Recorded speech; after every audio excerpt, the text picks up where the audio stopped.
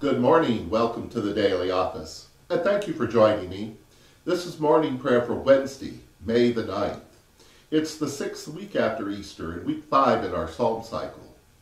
And the scripture for this service, Psalm 119, verses 97 through 120, and Matthew 22, verse 41 to 46. And now join me, please, in singing verse 7 of Psalm 66 by Isaac Watts.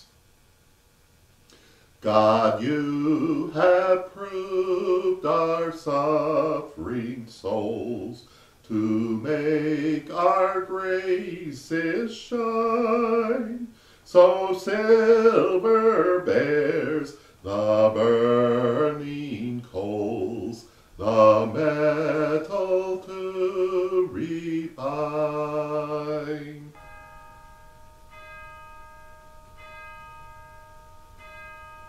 Open my lips, my mouth shall declare your praise.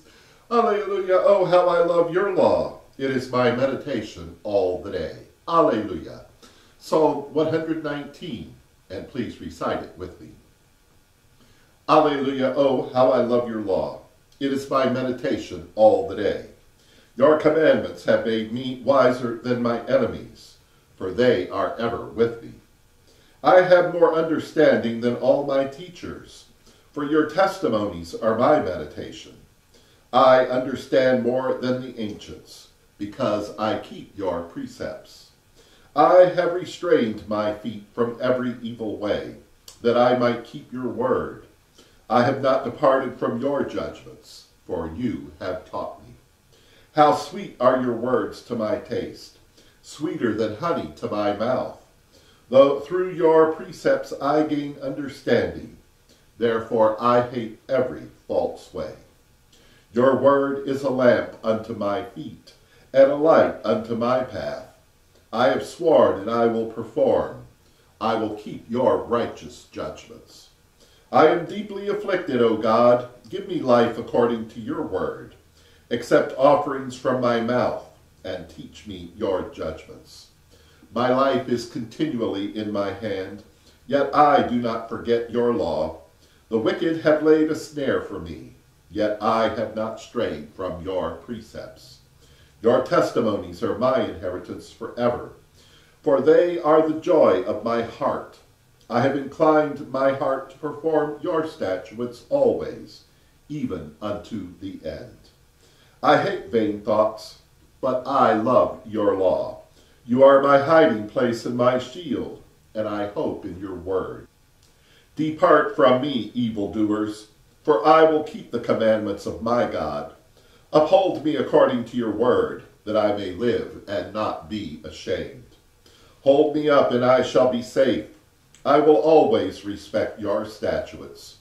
You have trodden down them that stray from your statutes, for their deceitfulness is in vain. You put away all the wicked of the earth like dross. Therefore I love your testimonies.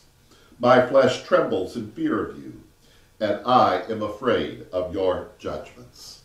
Glory to you, source of all being, eternal word and Holy Spirit, as in the beginning, so now and forever. Amen. Alleluia. Alleluia. Oh, how I love your law. It is my meditation all the day. Alleluia.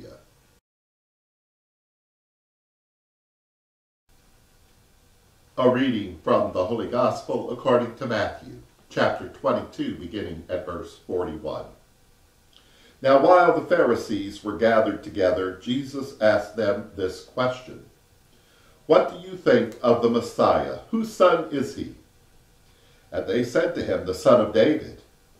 And he said to them, How is it then that David, by the Spirit, calls him Lord, saying, The Lord said to my Lord, Sit at my right hand until I put your enemies under your feet.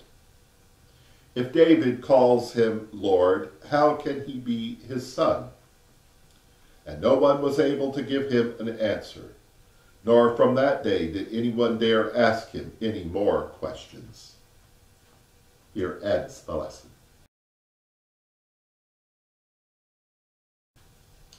Defend us, and we shall shout for joy for we put our trust in you.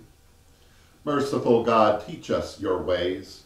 Keep us from all sin today and for all of your intentions.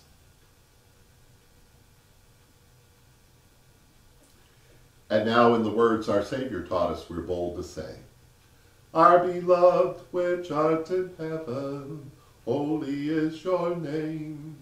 Your kingdom come, your will be done on earth as it is in heaven. Give us this day our daily bread. Forgive us as we forgive others. Lead us not into temptation, but deliver us from evil. For the kingdom, the power, and the glory are yours, now and forever. Let us pray.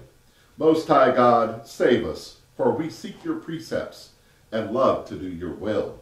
Accept our praise as we sing your glory. In Jesus' name we pray. Amen.